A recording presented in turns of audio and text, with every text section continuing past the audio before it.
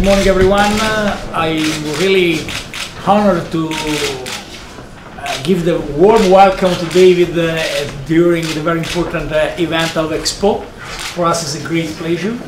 And we share, obviously, some ideas, some discussions, some considerations about the situation around the world in front of the risotto alla milanese. Risotto alla milanese because Expo is a great opportunity to discuss about food, food security, and other other value of Italian style. So thank you so much for your presence.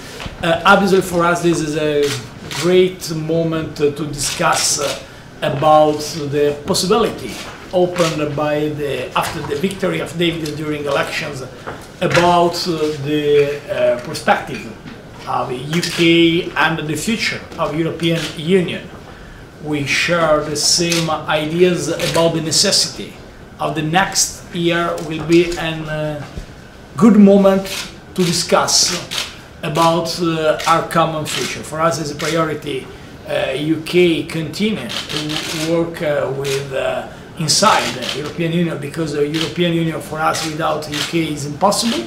So uh, we will discuss in the next weeks and the next months about uh, this uh, point uh, with the same decision to use the time, this time for uh, improve the quality of life uh, of our citizens uh, and cut bureaucracy, reduce the risks of um, bureaucratic approach of European Union. We discuss about the situation of migration in uh, around the world, and particularly obviously for us in Mediterranean.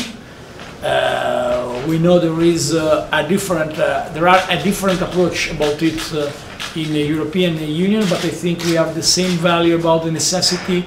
This problem was a European problem.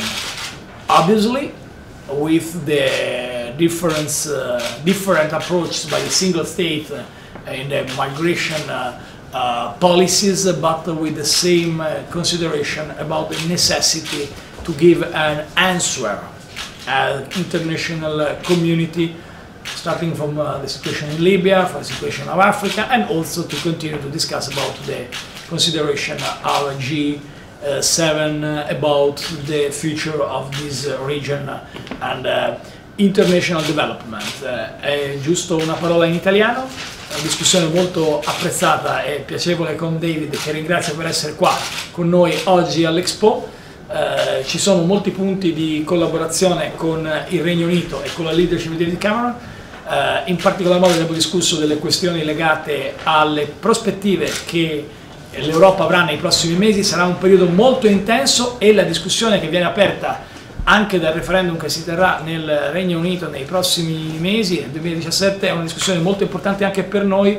Noi pensiamo che non ci sia un futuro per l'Europa senza il Regno Unito come fondamentale partner. Abbiamo discusso di immigrazione, ci sono come sapete posizioni anche diverse sul tema, sulle singole scelte da adottare che adotteremo nelle prossime settimane, nel prossimo Consiglio europeo, ma c'è la condivisione che questo problema non è un problema solo italiano, è un problema che riguarda tutta l'Europa, le modalità con le quali affronteremo questo tema sono oggetto di discussione anche in queste ore, partendo dalla prima necessità, che è quello di risolvere il problema alla radice in Africa, evitando quindi che eh, l'Africa sia considerata un uh, continente di serie B dalla comunità internazionale. Su queste questioni c'è profonda convergenza con David, and uh, thank you so much again for your presence, David.